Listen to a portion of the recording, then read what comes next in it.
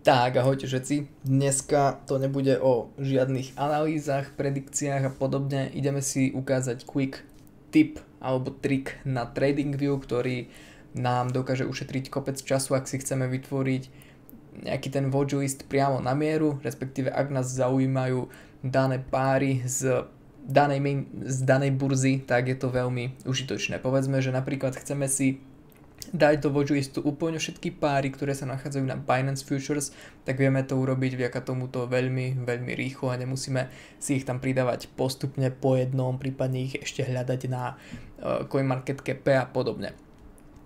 Čo musíme urobiť? Je vytvoriť si nejaký watchlist, áno, tu nás si vytvoríme watchlist, hoci ako si ho pomenujeme, prípadne my si zvolíme tento futures, kde som to už skúšal, všetko si to vymažeme, nech ideme pekne od začiatku a ideme teraz do sekcie screener s tým, že tu si zvolíme uh, crypto pairs, zvolíme si to, nech sa nám to pekne načíta. Teraz ideme do sekcie filter, kde si zvolíme exchange. V našom prípade to bude Binance a symbol type ideme po perpetuals, áno, Binance Futures. Toto zrušíme už teraz vidíme, že sa nám tu pekne začínajú filtrovať všetky tieto tokeny, respektíve páry a tu na ešte musíme urobiť posledný filter a to ten, že napíšeme tu na usdt.p všetko veľkým.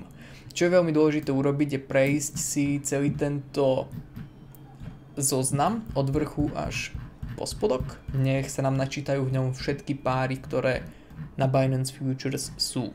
No, nech máme istotu, že budeme mať v tom zozname ozaj všetko, tak mali by tam byť všetky načítané. Teraz musíme stlačiť, označiť si hoci ktorý z nich, to je úplne jedno. Stlačíme Ctrl A, ak máte Mac, tak Ctrl A mal, malo by to byť. A následne stlačíme práve tlačidlo na myši a pridáme tam, respektíve klikneme na Add All Selected to Watch List. A boom, máme tu na všetky páry, ktoré sú aktuálne na Binance Futures. Následne si ich tu vieme pekne filtrovať podľa seba. Áno. Takže decid. Tak, takéto jednoduché to je.